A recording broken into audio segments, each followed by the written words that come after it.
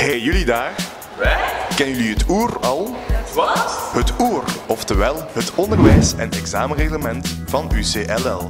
Dat is geschreven samen met studenten en geeft jou als student de nodige bescherming. Want het OER regelt namelijk de regels binnen de UCLL waar niet alleen jij, maar ook wij als UCLL ons aan moeten houden. Meer info? Check het internet.